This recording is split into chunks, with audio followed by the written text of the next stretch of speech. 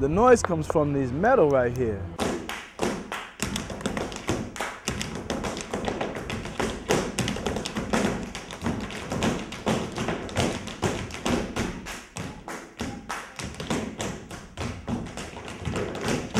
Saw Fred Astaire on television when I was five years old. I think I was five or six. Been dancing since I was two and a half. Well, we started when we were babies. Started when I was about seven. All three of our mothers were professional dancers. I used to say three, but my mom's like, we didn't have tap classes for three-year-olds. My mother actually went into labor teaching a tap class. I didn't choose. Tap dance chose me.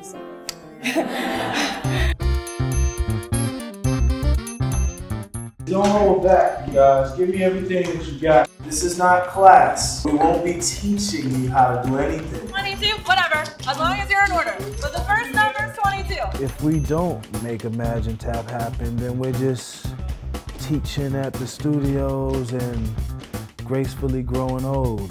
And I want to kick and fight and scream as I grow old. I don't want it to be graceful.